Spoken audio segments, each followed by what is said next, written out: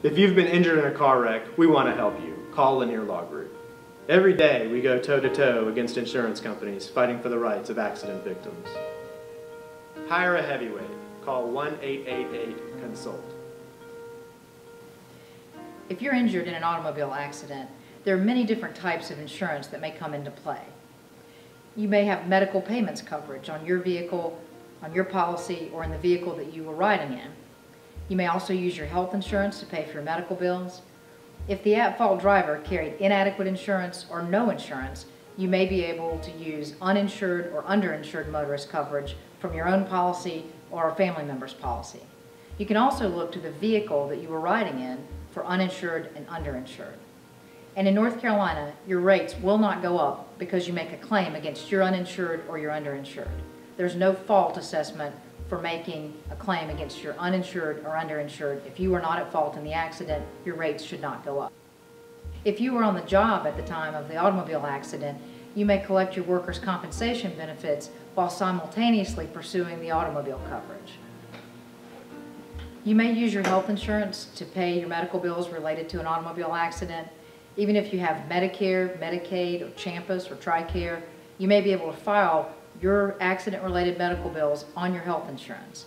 If you don't file your medical bills on your health insurance, then those bills may have to be paid out of your recovery, whether it's a settlement or verdict. But if you use your health insurance, a new law that went into effect in October of 2011 has an implication on how those medical bills may be treated by the insurance company or by a jury.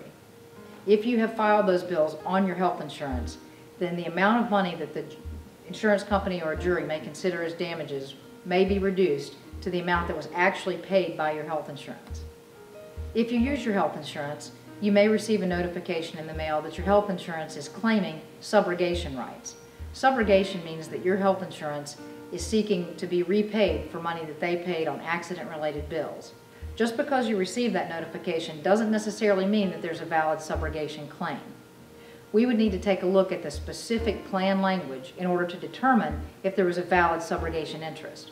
And even if there is a valid subrogation interest, we have great success at negotiating a reduction in that amount. Even if you have to repay your health insurance, it usually ends up being significantly less than if you had to pay those medical bills out of your recovery. There are many types of compensation you may be entitled to when you've been in an automobile accident payment of your medical bills, pain and suffering, any kind of permanent physical injury or scarring, as well as time missed from work, mileage. You may be entitled to punitive damages if you were hit by a drunk driver or someone who was driving willfully, carelessly, recklessly, with intentional disregard for your safety.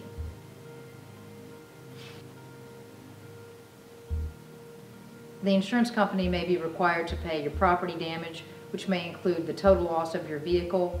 It may include the repair of your vehicle if it's not a total loss, and it may include a rental car for the replacement of your vehicle while the repairs are being made. If the at-fault driver failed to carry insurance or failed to carry adequate insurance, you may need to look to uninsured or underinsured motorist coverage. You may also be able to find coverage for underinsured or uninsured motorists in the vehicle in which you are occupying.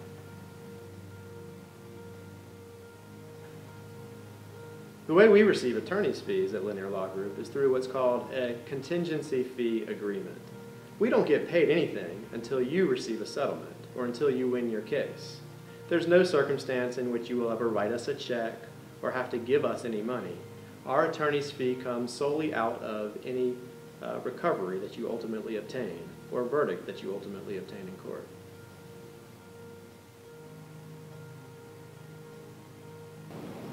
If you've been injured or a loved one in a collision with a truck or a uh, tractor trailer, this is a completely different analysis. There are separate federal regulations that apply to truckers, including them keeping very detailed records of whether they've been on the road too long and whether they've been following all the rules of the road. You may have a claim not only against the particular trucker for what he has done in the particular wreck, but for the company for hiring him based on his bad driving record or for putting him on the road when he was too tired to be operating one of those extremely heavy vehicles. If you've been in a collision with a truck, by definition, it's a very serious matter. if you've been hurt in a collision, we're going to do everything in our power to settle your lawsuit.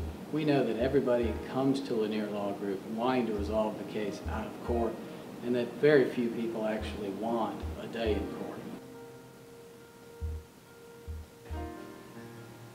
Many people call and ask us if they are required to give a recorded interview to the insurance company. We advise our clients not to. There is one exception. If your claim is an under or uninsured policy claim, you are required to cooperate with your insurance company, which may include giving a recorded statement. If we represent you, we of course want to be present for any recorded statement that you would ever give. Is there a time limit for filing a claim? Yes, there is. In North Carolina, the law requires that if you haven't settled your claim within three years of the date of incident, that you file a lawsuit. If you don't do so, your claim will be lost forever. In the event of death, the law requires that a lawsuit be filed within two years of the date of death.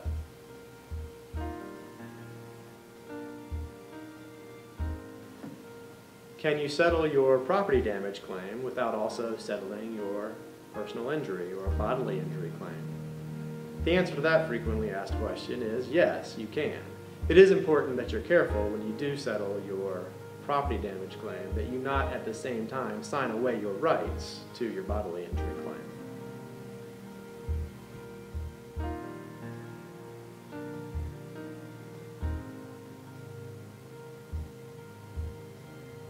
How much will the insurance company pay for pain and suffering?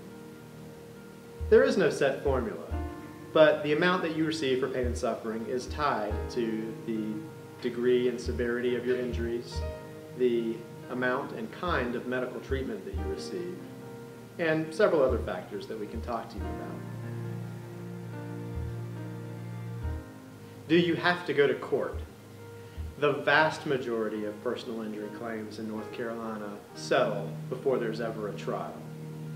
As long as we are able to help you get the insurance company to pay a reasonable amount for your injuries, your claim can settle without ever going to court or even without a lawsuit being filed.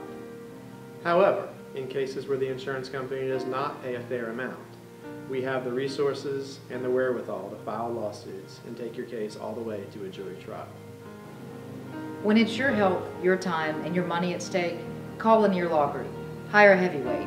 Call us today at 1-888-CONSULT.